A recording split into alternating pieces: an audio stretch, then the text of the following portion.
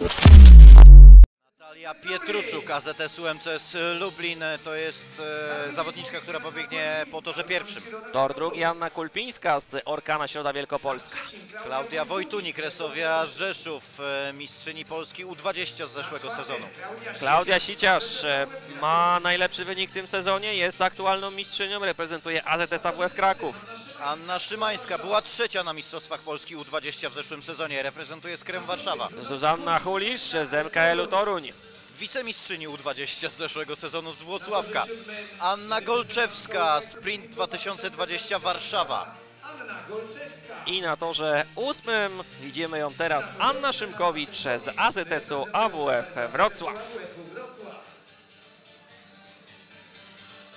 Czy to będą wicemistrzostwa Polski? Przekonamy się za kilkanaście, może kilkadziesiąt e, sekund, czy Klaudia Siciarz e, pozwoli na jakąś niespodziankę, czy przegra sama ze sobą, na przykład zbyt wcześnie wyskakując z bloków startowych, czy też wszystko będzie tak, jak e, to wygląda z wyników i aktualnej formy i dyspozycji tych wszystkich e, biegaczek, które za chwileczkę wystartują na 100 metrów przez płotki.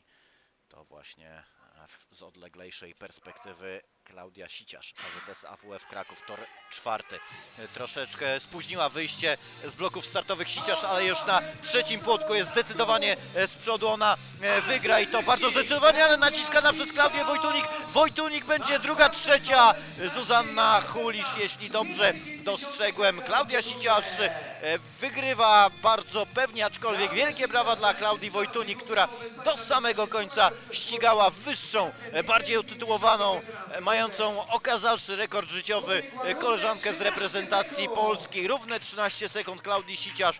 Klaudia Wojtunik na miejscu drugim, a Zuzanna Hulisz, jeśli dobrze dostrzegłem, na miejscu e, trzecim, a więc e, te zawodniczki, które e, przed rokiem we Włocławku na Mistrzostwach Polski Juniorek, czyli zawodniczek do lat 20 e, wywalczyły złoto i srebro, finiszują za Klaudią Siciarz, ta, która była na miejscu trzecim, czyli Anna Szymańska w tegorocznych Mistrzostwach Polski U23 na pozycji czwartej, a wygrała ta, która była murowaną kandydatką do zwycięstwa, czyli Klaudia Siciarz. Klaudia Siciarz ze złotym medalem, tutaj sensacji nie ma, ale co Klaudia Wojtunik ją mm, tutaj ponaciskała, to jej 13 sekund Siciarz, 13.21 Wojtunik Hulisz z wynikiem 13.46.